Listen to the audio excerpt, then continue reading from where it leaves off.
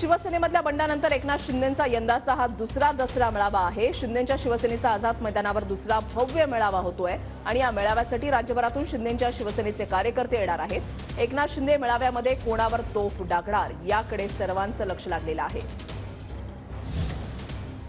बुलडाण्यामधल्या शिवसेनेचे कार्यकर्ते आझाद मैदानावर आता दाखल झालेले आहेत. महत्वाची बातमी आपण पाहताय आझाद मैदानावर शिवसैनिकांची हळूहळू गर्दी व्हायला सुरुवात झालेली आहे. संध्याकाळी हा मेळावा होतोय. मात्र आतापासूनच आझाद मैदानावर शिवसैनिकांची हळूहळू गर्दी व्हायला सुरुवात झालेली आहे. राज्याच्या कानाकोपऱ्यामधून शिवसैनिकांना मुंबईमध्ये आणण्याची जबाबदारी ही आमदार खासदार यांच्यावर सोपवण्यात आलेली आहे. आझाद मैदानावर शिंदे गटाचा दसरा मेळावा होतोय. अक्षय मणकणी आमचे प्रतिनिधी आमच्यासोबत आहेत. अधिक माहिती त्यांच्याकडून जाणून घेणार आहोत. अक्षय संध्याकाळी मेळावा होतोय. मात्र शिवसैनिक जे आहेत ते आतापासूनच आझाद मैदानामध्ये पोहोचायला सुरुवात झाली आहे.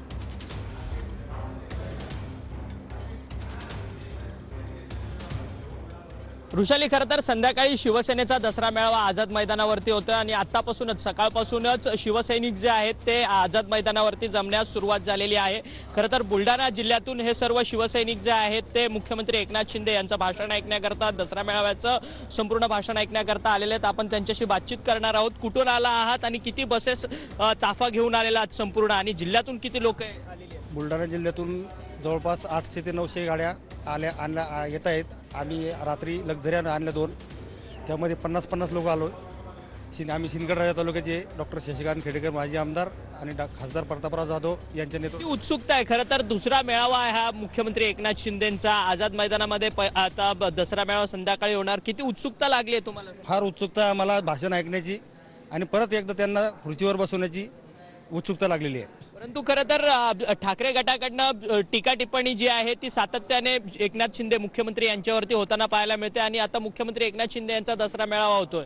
तसं पाहिलं तर खरे हिंदुत्वाचे खरे वार वारसदार हे एकनाथ शिंदेच आहे आणि त्याच्या याच्यावर विश्वास ठेवून आम्ही या ठिकाणी आलेलो तर आपण पाहिलं की संपूर्ण बुलढाणा जिल्ह्यातून जवळपास अनेक शेकडो बसेस भरून कार्यकर्ते जे आहेत शिवसैनिक जे आहेत ते बुलढाण्यावरतून आलेले असल्याचं आपल्याला पाहायला मिळतं हळूहळू आझाद मैदानामध्ये शिवसैनिक जे आहेत ते मोठ्या संख्येने येताना पाहायला मिळत आहे. जय्यत तयारी आझाद आझाद मैदानामध्ये शिव संपूर्ण दसरा मेळाव्याची झालेली आहे आणि थोड्याच वेळात मोठ्या प्रमाणात शिवसैनिक जे आहेत ते ग्रामीण भागातून आझाद. मैदानात येतील असा विश्वास जो आहे भगवे झेंडे जे आहेत ते फडकत आहेत शिवसैनिक जे आहेत ते हळूहळू या ठिकाणी दाखल व्हायला सुरुवात झालेली आहे.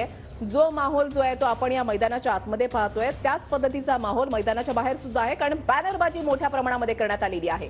निखिल चव्हाण आमचे प्रतिनिधी आमच्यासोबत आहेत. अधिक माहिती त्यांच्याकडून जाणून घेणार आहोत. तर निखिल कशा पद्धतीनं आझाद मैदानाच्या बाहेर बॅनरबाजी करण्यात आली आहे?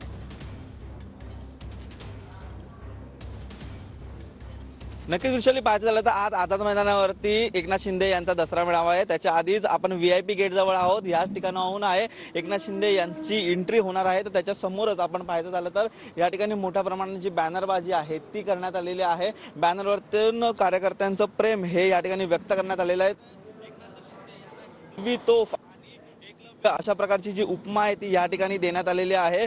आझाद मैदानाच्या व्ही आय पी गेट समोर हे संपूर्णपणे बॅनर आहेत ते लावण्यात आलेले आहेत. तर एकनाथ शिंदे यांचा एक नेता एक पक्ष एक विचार एकलव्य एकनाथ अशा आशयाचे संपूर्णपणे बॅनर हे लावण्यात आलेले आहेत. नक्कीच शिवसेनेसाठी एकलव्यासारखी भूमिका या ठिकाणी मुख्य मुख्यमंत्री एकनाथ शिंदे यांनी घेतली. अशा आशयाचा बॅनर या ठिकाणी अब्दुल सत्तार असतील त्याच्यासोबत दीपक केसरकर असतील या सर्व कार्यकर्त्यांच्या माध्यमातून सर्व नेत्यांच्या माध्यमातून लावण्यात आलेल्या आहेत. त्याचप्रमाणे संपूर्णपणे रस्ता जर आपण पाहतोय तर या रस्त्यावरती ही संपूर्णपणे बॅनरबाजी बरोबर.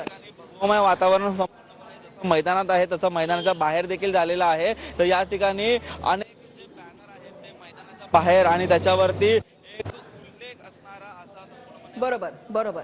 नक्कीच निखिल अक्षय धन्यवाद तुम्ही दिलेल्या सविस्तर माहितीसाठी अपडेट सातत्यानं तुमच्याकडून जाणून घेणार आहोत.